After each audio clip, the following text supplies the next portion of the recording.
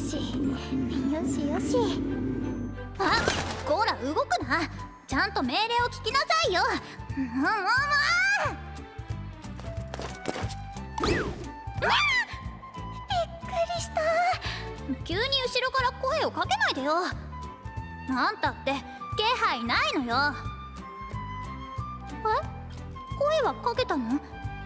ああごめん。私集中してたから周りの声が聞こえなかったっぽい。なんか八つ当たりして悪かったわね。つうかあんた私に何か用事？私は見ての通り仕事中だからあんたの相手をしてられないんだけど。それとももしかして賭け事にはまっちゃった？モンスターレース。なんか大にぎわいでね。連日のように開催されてるけどどんどん客が増えてるのよ。あんまり娯楽ないもんね。ランドソル陛下の施策のせいだけどさ。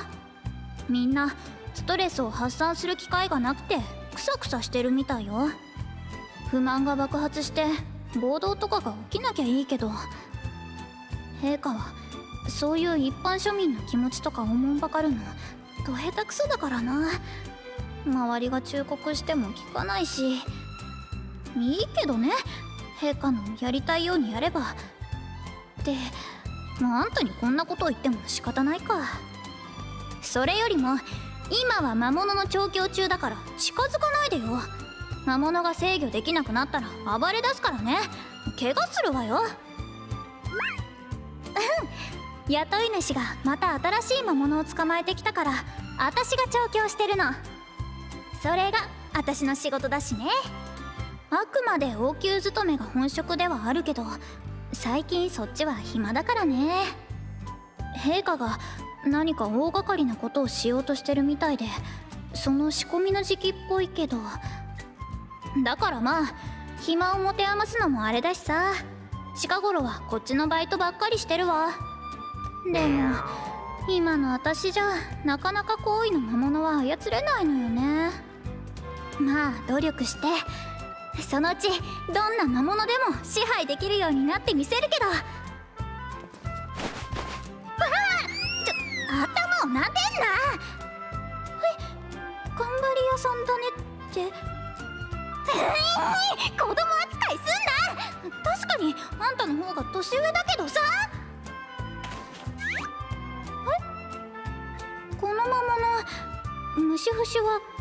が発達してるからいい香りを嗅げば機嫌を良くする？なんでそんなことをしてるのよ。こいつ結構珍しい魔物よ。ふん。なんか最近そういう比較的どうでもいい魔物とか魔法の知識を不意に思い出すことがあるのね。あんたの記憶断片的に戻ってきてるのかもね。確かに。その魔物の好む食べ物とかを与えると言うことを聞かせやすくなるけどね。いい香りか。そういう魔法があった気がする。ちょっと試してみるわね。アドバイスありがとう。ん？サンドイッチくれるの？どうして？あんた頑張ってる私に差し入れをしようと思って。こんな僻地まで来たの？ななんでそんなに私に優しくしてくれるの？いや嬉しいけど私はあんたにこんなによくしてもらう資格はないんだけどな。こんなことを言っても仕方ないけどあんた割と残酷なことをしてるわよ。えー、また光ってる？こいつが謎の光を放ったらよく観察しとけって陛下に言われてるけどこいつが怪奇現象に見舞われてるのにそんな風にのんきにしてられないわよ。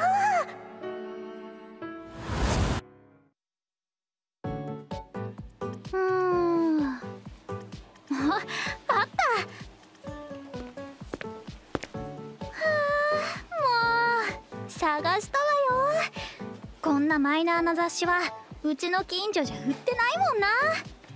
あちこち駆けずり回ってようやく見つけたわ。普通の書店には置いてなくてこんなアニメショップにあるってどういうことよ。もしかしてと思ってダメ元でこの店に入って正解だったわ。まああの人はアストルムの開発者だしあの人に興味を持つ層もそっち方向の連中が多いのかしらね。だから攻略本とかと一緒に売ってるわけね。値段はけ結構高い。専門誌だもんね。購買数が少ない分値段を高くして採算取ってるわけか。くそ資本主義に骨まで毒された豚どもめ。ひふみ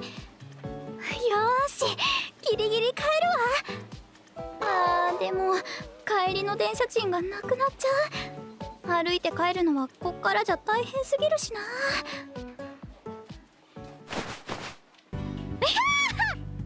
びっくりした。わ急に肩を叩かないでよ。殺すわよ。なんなの？別に万引きとかじゃないわよ。普通に買うつもりだったし。あれ？店員じゃない。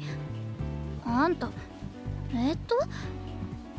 確かな何かよ。借りた電車賃ならこないだ返したでしょ。気安く話しかけんじゃねえわよ。どっか失せろ。シシ。それともあんたもこの雑誌を狙ってるの？ダメよ。これは私が先に見つけたんだから。私のよ。文句あるの？違う？知り合いを見つけたから普通に声をかけただけ？何を勝手に仲良しみたいに思ってるのよ。あんたとは数えるほどしか会ってないはずだけど。うん。私が雑誌コーナーの前に居座ってるから邪魔だったのね。ごめんね。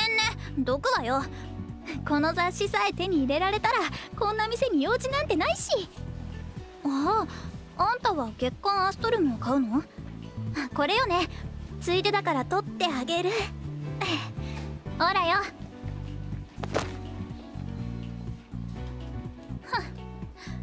あんたまだあんなゲームをやってんのね。もう高校生なんでしょ？ゲームなんか卒業しなさいよ。私もやってたじゃんって。とっくの昔にやめたわよ。単なる興味本位だったし。キャル？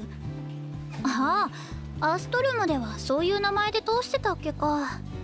名前つける時にうっかり文字を打ち間違えたのよね。私「ももちきるや」って言うじゃん。キルやなんだけどね。親に隠れてこっそり耳をいじってたからさ大慌てで入力してキャルって名前にしちゃったのよ。私の本名可愛くないしね。キャルって結構気に入ってはいたんだけど。まあ楽しくはあったのよ。でもあの手のネットゲームはやたら時間がかかるじゃない。私勉強もバイトもあるしなかなかログインできなくってさ。遊べないうちにどんどん様変わりしてさついてけなくなっていつの間にかやらなくなっちゃってた感じ。っていうかそもそも私普段からゲームとかあんまりしないしマナ様が作ったゲームだって言うからどんなもんだか気になっただけ。マナ様って知らない？まああんまり表に出ない人だしね。この人よ。ほら私が買う雑誌の開発者インタビューに写真が出てるでしょ。この記事が読みたくて雑誌を探し回ったんだから。全然情報が出回らない謎めいた人だしね。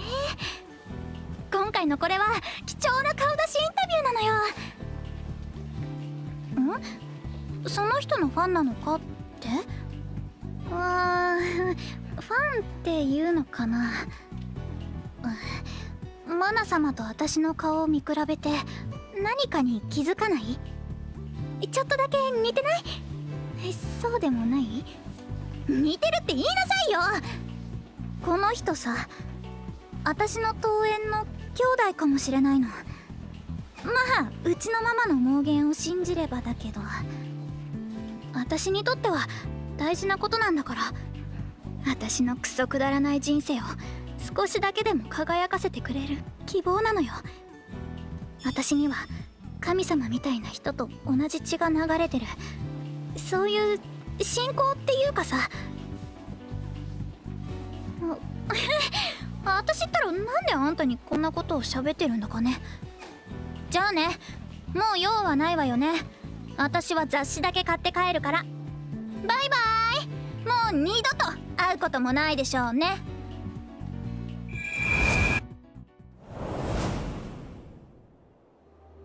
はいお疲れ様。キャルちゃんちょびっとだけ言動が丸くなったかしら。初対面の時は思いっきり喧嘩腰で怖いぐらいだったけど突っ張ってはいるけど本来はどこにでもいる。普通のいい子なのかもしれないわね。こっちのキャルちゃんを見てると特にそう思うわ。しかしマナか意外な名前が出てきたわね。どうつながるのかしら。いろいろ推測はできるけど嫌な予感しかしないわね。なんてったってマナ千里マナってのはあんたにとっても無視できない存在だからね。一度世界を壊した張本人。セブンクラウンズカイザーインサイトの本名が千里マナなのよ。気になるわ。いろいろ調べてみるから今回の夢はこれでおしまいね。何か分かったらまた夢の中で教えてあげる。まあ夢だから目覚めたらほとんど忘れちゃうんだけど。残るものはあるはずだしね。もしもの時に第六感が働いて危機を回避できたりとかさ。しかしまああんまり悠長にしてらんないかもね。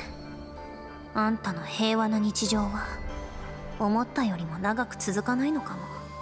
気をつけなさい。私には忠告することしかできないけど。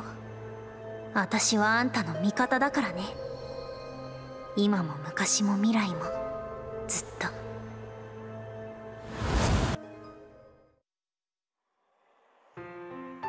しあんた今の見た？